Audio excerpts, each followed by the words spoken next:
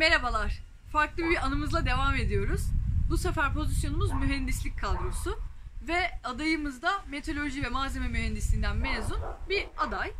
Karşımıza geldi. Daha önce yalnız mühendislik yapmamış. Farklı görevlerde çalışmıştı. Ee, ve başka bir şehirden geliyordu. Ee, ben de sordum hani peki şimdi neden başvurmak istediniz mühendisliğe? Daha önce farklı görevler yaptınız ve şehir değiştirme kararı aldınız. Bunun sebebi nedir dedim. Ee, çünkü dedi benim dedi upuzun çok uzun bir ilişkim oldu. Ama dedi o kız beni aldattı. Benim de ilişkim bitti.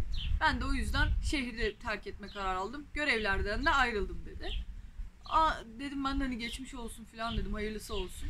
Ondan sonra e, ikinci sorum şu oldu. Peki dedim mühendislik sizin için bilinçli bir tercih miydi? Yani okurken bilinçli olarak mı mühendisliği tercih etmiştiniz? Yok dedi ben dedi hiç istemiyordum. Benim abim zorladı beni mühendis olacaksın diye. Ben de okudum ama sevmediğim için sonrasında devam etmedim. Ama şimdi kesinlikle mühendis olmam gerekiyor dedi. Peki dedim neden böyle bir karar aldınız? Hani bu kararı sizi ne itti? Vallahi dedi inanır mısınız dedi. Kız istemede falan çok önemli olduğunu anladım dedi. Yani dedi ben gittim kız istemeye. Mühendisim deyince olaylar çok değişti. Kızı bana verecekler dedi. Eminim. O yüzden benim mühendislik yapmam gerekiyor artık dedi. Sonrasında mülakat devam ediyor ama biz hep ilişkilerden gidiyoruz böyle cevaplarda. İlgi alanları kısmında tango yazıyordu.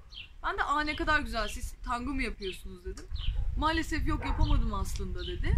Neden yapamadınız dedim. Partner bulamadım dedi. Yani arkadaşlar evet mülakatlarda açık olalım, doğru cevaplar verelim, şeffaf bir şekilde kendimizi açıklamaya çalışalım. Ancak lütfen bunu yaparken bir iş görüşmesinde olduğumuzu da unutmayalım. Ee, biraz daha işe değinerek bunu yapalım. Çok fazla böyle özel hayatımızdan evet bahsedelim ama bu kadar değil. Bir sonraki anımızda görüşmek üzere. Hoşçakalın.